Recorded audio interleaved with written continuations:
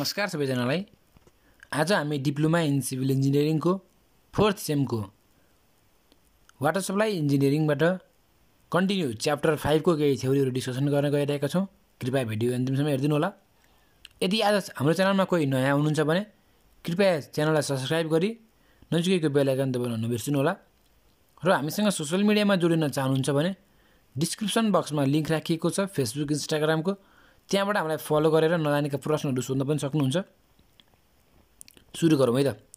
अब हाम्रो chapter four रहेको छ quality of water quality of वाटरको एउटा हाम्रो सा सानो टपिक भनेको हाम्रो impurities in water dear classification and effect भनेको के के इम्प्युरिटिज हुन्छ त वाटरमा भनेको चाहिँ अब इम्प्युरिटी भनेको फोरहरू हो किन भनेको pure water contains only two parts hydrogen and one part is hydrogen के sorry one two parts of hydrogen and one parts of oxygen भनेको two H two O plus two H two plus O two गरेर H two बन्छ हो किन by volume which is never found in nature water found in nature contains a number of impurities भनेको जुन हाम्रो नेचरमा पाइने water छ त्यसमा धेरै प्रकारको इम्प्युरिटिज हुन्छ केमिकल हुन्छ हो किन डिजल्भ हुन्छ हामीले न नदेखाए इम्प्युरिटिज हुन्छ। अब classification of impurities according to its character तिनीहरूको क्यारेक्टरको आधारमा हाम्रो के के कसरी विभाजन गरेको छ भन्दाखेरि फिजिकल इम्प्युरिटिज केमिकल इम्प्युरिटिज र ब्याक्टेरियोलोजिकल इम्प्युरिटिज। अब फिजिकल भन्दा कस्तो भन्दाखेरि हाम्रो जुन हाम्रो अब चाग्दाखेरि अर्डर हो किन भनेको अर्डर कुनैको टेस्ट ट्युरिबिलिटी कलर कलर भनेको त्यो फिजिकल त्यो नेचर कस्तो छ त्यसको आधारमा नै हामीले डिपेन्ड गरेको छ। अब केमिकल भनेको अब कुनै के वाटरको पिएच भ्यालु बढी हुन्छ हो किन हार्डनेस हुन्छ मिनरल कन्टेन्टको हुन्छ होला क्लोराइड हुन्छ होला हाइ नाइट्रोजन हुन्छ होला भनेको यो त केम केमिकल इम्प्युरिटिजमा पऱ्यो। त्यसै गरी ब्याक्टेरियोलोजिकल इम् इम्प्युरिटिज भनेको प्याथोजेनिक र नन प्याथोजेनिक ब्याक्टेरिया भनेको यो दुइटा भनेको हाम्रो ब्याक्टेरियो ब्याक्टेरियोलोजिकल इम्प्युरिटिजमा पऱ्यो। यो यो त भयो हाम्रो classification of impurities according to their characteristic अब त्यसै गरी हाम्रो classification of impurities according their state अब स्टेटको आधारमा भनेको हाम्रो सस्पेन्डेड एउटा कोलाइडल एउटा डिजल्भ अब सस्पेन्डेड इम्प्युरिटिज भनेको कस्तो भन्दाखेरि जसको साइज चाहिँ वान माइक्रोनभन्दा बढी छ भनेको इम् such impurities whose size are more than one micron and can be visible by eyes भनेको जुन आँखाले पनि देखिन्छ त्यो भनेको हाम्रो के हो? सस्पेन्डेड मेटेरियल्स इक्जाममा इक्जाम्पल के के पर्छ? हेर्नु होला bacteria algae protozoa clay silt organic matters यो भनेको हाम्रो सस्पेन्डेड भयो। त्यसपछि हाम्रो कोलाइडल कोलाइडल भनेको कस्तो भन्दाखेरि जुन चाहिँ हाम्रो जसको साइज चाहिँ हाम्रो कति हुनु पऱ्यो भन्दाखेरि टेनको पावर माइनस थ्री माइक्रोनदेखि वान माइक्रोसम्म त्यसको साइज हुनु पऱ्यो अनि cannot be seen by naked eye भनेको हाम्रो कोलाइडल के के पर्छ भन्दाखेरि हेर्नु? AL two O three and FE two O three are positive charge भनेको यो चाहिँ हाम्रो इक्जाम्पल हो जस्तै हाम्रो अब सिले समथिङ अब हाम्रो यो चाहिँ हाम्रो के भन्दाखेरि चाहिँ यो चाहिँ हाम्रो क्यानट बी भिजिबल नेकेड आइज सिलिकाहरू हो किन त्यसै गरी डिजल इम्प्युरिटी भनेको कस्तो भन्दाखेरि टेनको पावर माइनस फाइभ टु टेनको पावर माइनस थ्री माइक्रोन यो साइज भएकोलाई हामीले डिजल इम्प्युरिटी भन्छौँ। अब यसमा के के पर्छ भन्दाखेरि हेर्नु साल्ट्स अफ सोडियम भनेर यहाँ छ यहीँ भनेको डिजल्भमा पर्छ। यो बाइकार्बोनेट कार्बोनेट फ्लोराइड र क्लोराइड यो भनेको हाम्रो salt of solution so sodium त्यही हाम्रो मे मेटल्स एन्ड कम्पाउन्ड्समा अब हेर्नु होला यहाँ हजुरले टन्नै छ।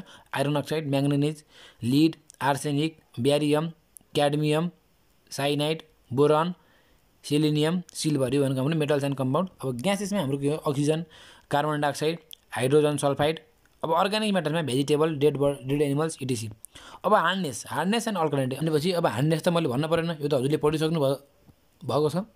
अब त्यसै गरी जाउँ अब हाम्रो हार्डनेस भनेको के भन्दाखेरि जुनमा चाहिँ हाम्रो ल्यादर फर्म हुँदैन। भनेको जुन चाहिँ हाम्रो अब पानी त्यसलाई हामी कुनै अब हामीले मिच्दाखेरि होइन सोपसँग हामीले त्यसलाई अब कुनै सामान केही सोपसँग चाहिँ केही सामान केही दल्दाखेरि मिच्दाखेरि त्यहाँ चाहिँ हाम्रो ल्यादर फर्म हुनु भने त्यो चाहिँ हाम्रो हार्डनेसले गर्दाखेरि हो। अब के के हुन्छ हार्डनेस भन्दाखेरि bicarbonate of sulphate chloride nitrates and calcium magnesium. हो कि यो भनेको हाम्रो के हो? हार्डनेस अब इफेक्ट अफ हार्डनेस अब हार्डनेस हार्डनेस भयो भने के हुन्छ? हजुरलाई थाहा नै होला। हजुरले पढिसक्नुपर्छ हार्डनेस भयो भने के हुन्छ?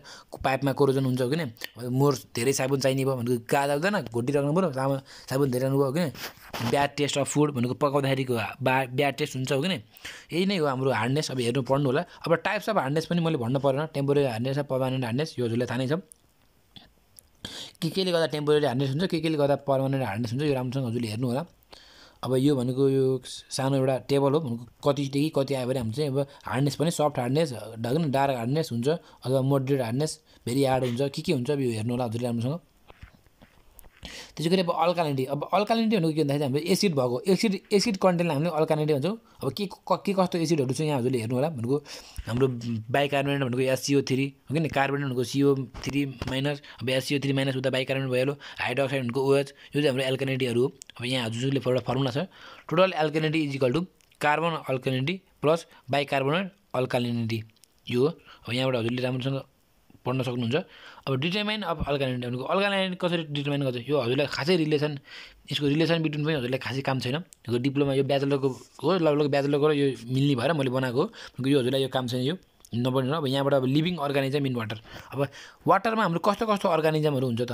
भनेको जुन चाहिँ हामीले आँखाले देख्छौँ देख्दैनौँ हो नेगेड आइले देख्ने अथवा माइक्रोस्कोपिक अर्गानिजम के के छ भन्दाखेरि के के हुन्छ भन्दाखेरि हाम्रो इक्जाम्पलमा एल्गी।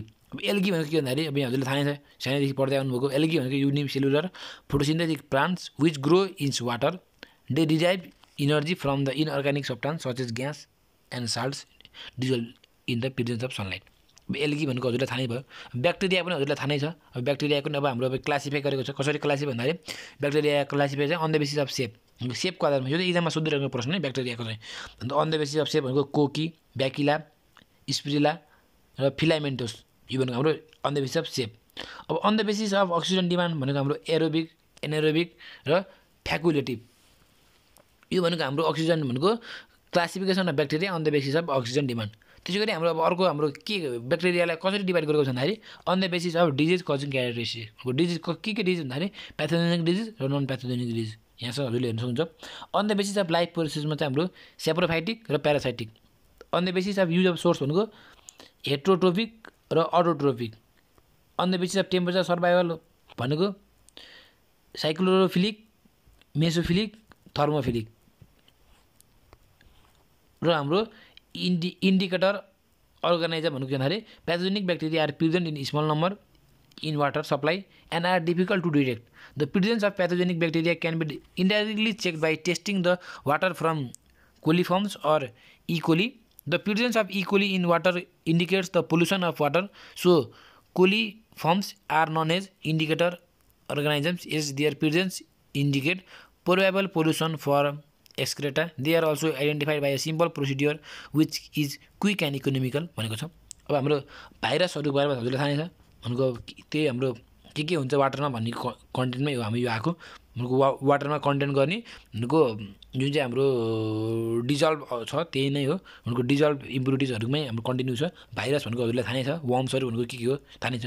अब इक्जाममा हजुरको हन्ड्रेड पर्सेन्टमा नाइन्टी नाइन पर्सेन्ट सोध्न सक्ने प्रश्न भनेको right about water related disease. Water related disease भनेको के भन्दाखेरि अब यहाँ हजुरले यसको पनि चारवटा वाटर रिलेटेड डिजिजले हामीले फोर पार्ट्समा डिभाइड गरेको छ। भनेको water borne disease water wash disease water based disease र water vector disease water borne disease भनेको कस्तो डिजिज भन्दाखेरि the transmission of sort disease occurs when the pathogens is in the water भनेको pathogens हाम्रो वाटरमा हुन्छ भनेको प्याथोजेन्स वाटरमा भयो भएर त वाटर कन्ज्युम गर्दाखेरि आउने रोग भनेको हाम्रो वाटर बर्न डिजिज भनेको कस्तो कस्तो हुँदाखेरि डाइरिया अब सिम्टम्सहरू यहाँ हेर्नु होला डाइरियाको सिम्टम्सहरू त्यस्तै हाम्रो कन्टिन्यू अरू अरू के के छ डिज भन्दा डिसेन्ट्री अब डिसेन्ट्रीमा हुनेहरूको सिम्टम्सहरू के के छ हेर्नु होला। केले गर्दाखेरि कज हुन्छ डिसेन्ट्री कजेज हेर्नु होला सिम्टम्सहरू हेर्नु होला। टाइफाइड पनि हेर्नु केले गर्दा टाइफाइड कड कज हुन्छ। र टाइफाइड भइसकेपछि यसको सिम्टम्सहरू के के हो र यसलाई प्रिभेन्टिभ कसरी कस कसरी प्रिभेन्ट गर्न सकिन्छ त?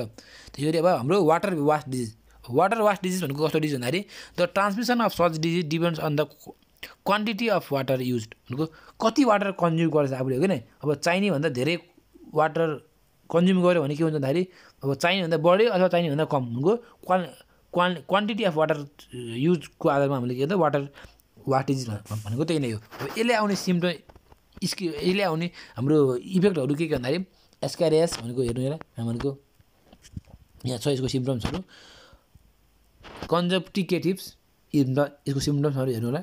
ब्याकिलरी डिसेन्ट्री यसको सिम्टम्सहरू हेरेर यसको प्रिभेन्टिभ मेजर पनि हेर्नु र अब त्यसै गरी हाम्रो थर्ड भनेको water based disease.